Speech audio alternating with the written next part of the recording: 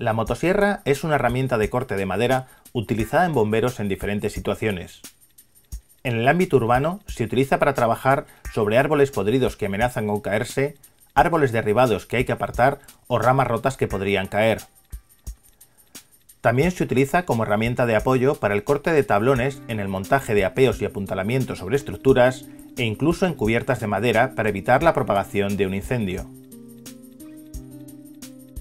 En el ámbito rural, su uso se ciñe al trabajo sobre el arbolado con el objeto de despejar un camino, limpiar una zona para abrir una línea de defensa o para protegerse de la llegada de un incendio, entre otras cosas. Nunca debe utilizarse una motosierra para un propósito distinto de aquel con el que fue diseñada, ya que el uso indebido puede resultar en lesiones personales o daños de todo tipo. Las partes principales de una motosierra son las siguientes. La cadena, formada por varios dientes de sierra unidos para realizar cortes en la madera. La espada, que es el soporte sobre el que gira la cadena. El piñón de reenvío, que se encuentra en la punta de la espada y ayuda a que el movimiento de la cadena sea más fluido. El captor de cadena, que ha sido diseñado para capturar la cadena en caso de que ésta se rompa o se salga de su sitio. Las uñas que nos ayudan a fijar la dirección de corte y apoyar la máquina sobre el elemento a cortar.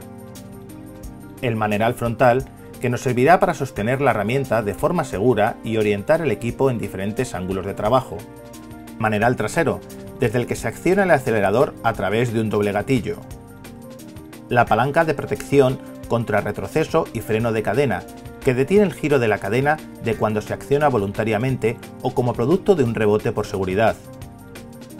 Conmutador de parada que, por seguridad, se encuentra ubicado en un lugar de fácil acceso. Sobre este conmutador se encuentra normalmente el dispositivo estrangulador de arranque en frío que nos permite el enriquecimiento de la mezcla para facilitar el arranque de la máquina.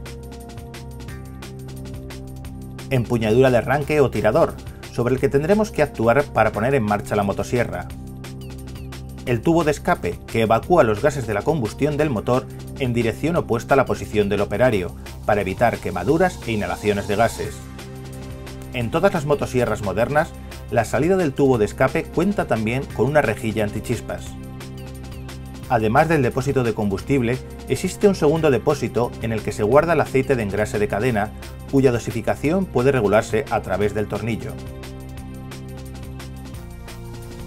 Las motosierras se clasifican principalmente según la longitud de su espada, su paso y su potencia. La longitud de la espada condiciona la de la cadena, que, a su vez, se puede comprobar fácilmente contando el número de eslabones motrices. El paso de cadena nos indica la separación o distancia que hay entre tres eslabones, existiendo cuatro medidas principales en el mercado.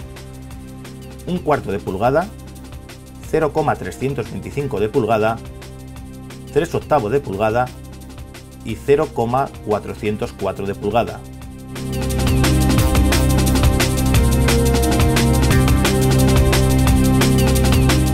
Si miramos la sierra desde su parte superior, la cadena gira siempre en el mismo sentido, hacia la punta de la espada. De esta forma, ante una eventual rotura, la cadena podría salir disparada hacia adelante, pero no contra el trabajador. Además, aleja el residuo del serrín de nuestra cara y empuja la sierra hacia el elemento que se corta, agarrándose a él. Los eslabones de corte más frecuentes pueden ser de gubia o de escoplo.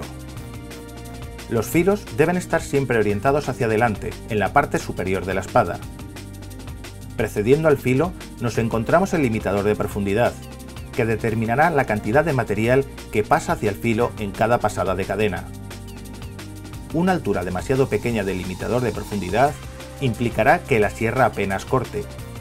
Una altura demasiado grande generará cortes agresivos, muchas vibraciones y mayor riesgo de retroceso de la máquina.